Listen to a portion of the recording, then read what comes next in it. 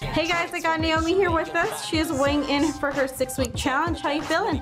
Really good. Awesome. I can't wait to see your results. Let's go ahead and see where you're starting at.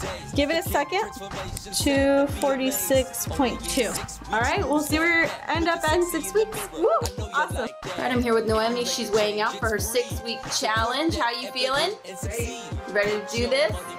All right, girl, let's get you on the scale. 225.6 for a total of 20.6 pounds. Nicely done.